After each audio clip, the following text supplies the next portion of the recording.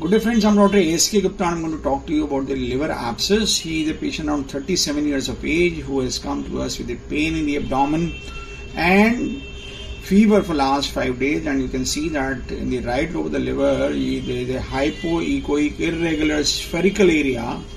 The spherical we say because when we see it in the two different planes it is appears circular in um, both the planes. If I see it in the other plane also it will appear circular and this area is a necrotic area which has varied echogenicity and it appears that the uh, liver parenchyma over here is getting necrosed at different places and the level of necrosis at various places is different. So it is nothing but the liver abscess. And the uh, you can see that uh, the probe tenderness is also there. When i'm trying to put the probe over the liver at the point of abscess the patient winces with pain. And uh, if I measure the volume of the abscess in three planes, I find that it is about 330 ml in size, pretty big abscess. Any abscess which is more than 500 ml in size is to be aspirated or drained.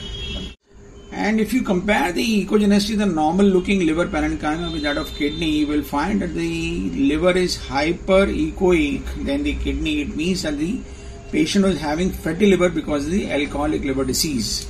But the examination of the liver does not end over here. If you see the gallbladder, you can find that the gallbladder walls are edematous, which suggests that this patient is having hepatitis because amoebic hepatitis can be associated with the amoebic. Otherwise, the patients in the liver abscess will have a hypoechoic liver, but this patient has a hyperechoic liver and a hypoechoic irregular mass in the liver parenchyma, which is nothing but the liver abscess and this liver abscess you will appreciate is seen in this segment 7 and, uh, and 8 of the liver.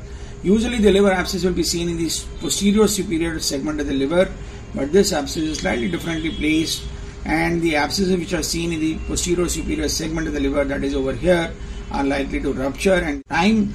I hope you like this video. In case you like it, please do subscribe to our channel. Do not forget to press the like button and share the video with large number of friends. Thank you very much.